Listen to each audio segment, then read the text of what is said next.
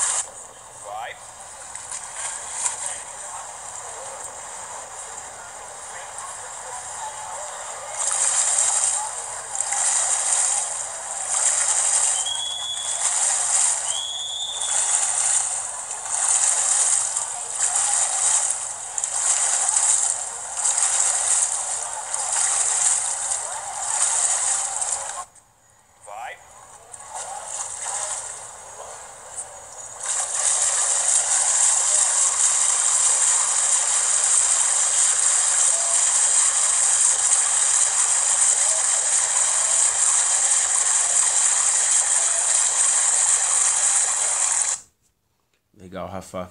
Vamos passar por cada estilo agora, tá?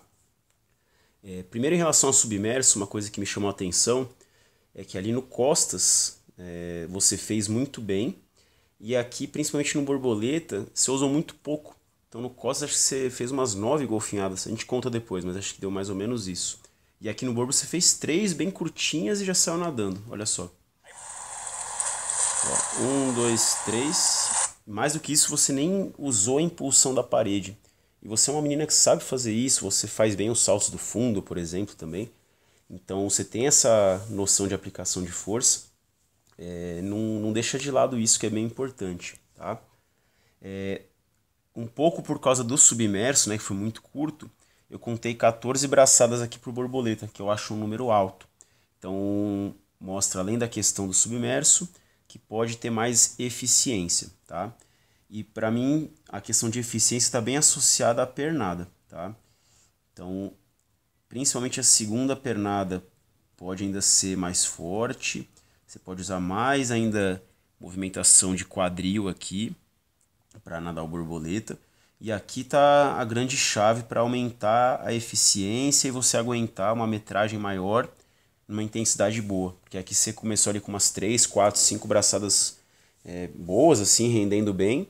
Só que aí, pela falta de eficiência na perna, é, movimento de quadril um pouco curto, é, ali até a 14 né, braçada, você já foi perdendo um pouquinho de rendimento. Tá? Então, principal é isso.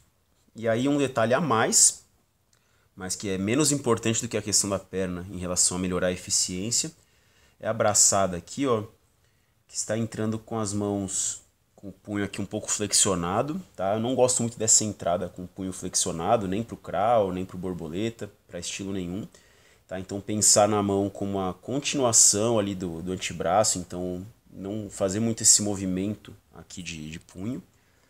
E aí entrando as mãos um pouco juntas, tá? Então tentar entrar com elas um pouquinho mais separadas, para não ter que fazer muito movimento para fora aqui na abraçada, tá bom? Isso é o que dá até para praticar nos borboletas unilaterais, que a maior parte dos educativos de borbo que a gente faz são de um braço só. E é onde você consegue corrigir essa entrada da mão e até o ponto que ela vai entrar, tá bom? Mas dê atenção especial para a questão da perna. De séries de perna isolada ali de borboleta, caprichar bastante. 1, 2, 3, 4, 5, 6, 7, 8, 9, 10, foi mais, até foi de 10 para 11 golfinhadas aqui, tá? Curtas, potentes, né? Achei um padrão legal. Dá para experimentar ali, jogar um pouquinho mais de amplitude, não ficar tão curta, tá? Mas tem que ser de um jeito que você consiga manter esse ritmo, porque a frequência de ondulação aqui estava no ponto, tá? Se conseguir essa frequência com um pouquinho mais de tamanho, acho que fica ainda melhor, tá? O nado deu uma boa evoluída no costas, sua perna ela entra bem no nado, eficiente. Para falar um detalhe, toma cuidado só esse braço direito aqui para não, não cruzar, tá? No que o braço começa às vezes a cruzar, e aqui por mais que a filmagem não esteja de frente, né?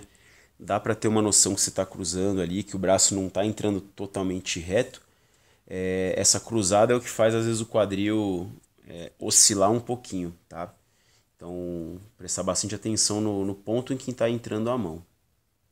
Mas, pelo menos olhando de fora, para mim seria o único comentário assim pro Costas. Aí o peito é um caso interessante aqui também, né? Você tem acho que dedicado bastante atenção a, a melhorar ele. Até estou gravando esse vídeo aqui, hoje é sexta-feira, aí foi acho que quarta, você fez uns nados bons ali na curta. É, e até te perguntei na hora, né, Rafa, o que, que você pensou aqui? Aí você comentou, né? Ah, eu tava tentando coordenar bem e deixar bem claro né, o tempo do braço, o tempo da perna. Foi algo mais ou menos assim que você me falou. Então, aqui na filmagem dá pra ver isso é, sendo bem feito, né? Então vamos lá, ó abraçada, aí armando a perna e depois entrando aqui com o chute, tá? Então tá o tempo de cada ação tá bem marcadinho, cabeça bem encaixada entre os braços. Aí eu contei 11 braçadas, mas eu vou considerar 10, porque você fez a Filipina ali bem curtinha também, né? Igual lá no Borbo você empurrou um pouco fraco e já saiu fazendo a Filipina. Eu acho que numa condição normal você faria um pouco mais longa e daria 10 braçadas.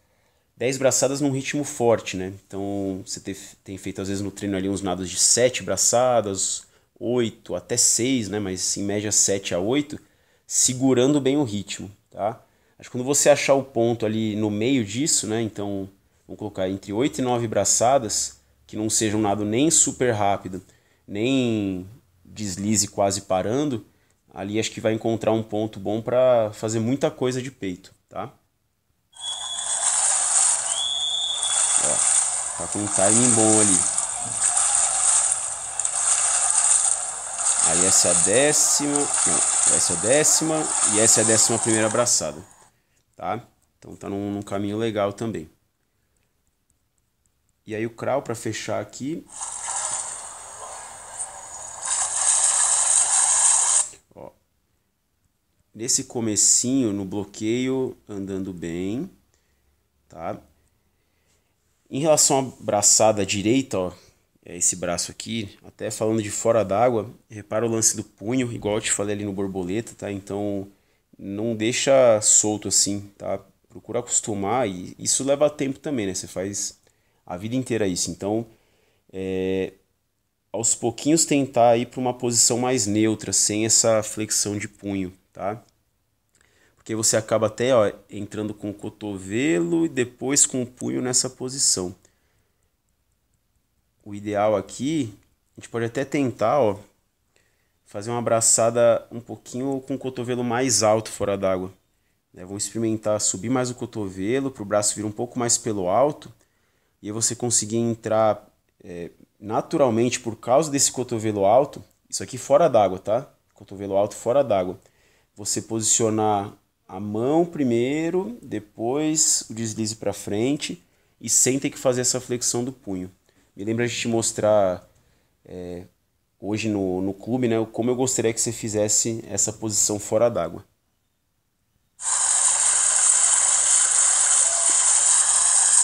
E aí outra questão é tempo aqui de apoio né, durante a respiração. você vai respirar acho que agora. Ó, nesse momento a gente vê o braço de apoio caindo muito cedo, então tentar manter ele mais firme tá, durante a respiração. Por isso é importante que a respiração seja rápida e técnica, tá? Para esse braço de apoio não, não se perder, não bagunçar com ele.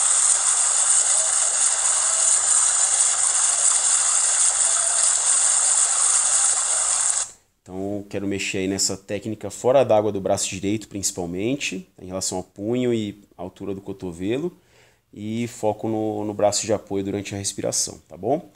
Rafa, qualquer dúvida, pergunta, tá? Você é uma menina também ali que se preocupa bastante com a parte técnica, então eu vejo que você vai testando ali, pode ir me falando, para a gente tentar encontrando seus melhores nados, tá bom? É... E é isso. Além da parte técnica, se esforçar bastante. Você está começando bem o ano. Terminou bem o ano passado também, né? Então, vamos com tudo, tá? Se cuida e bons treinos.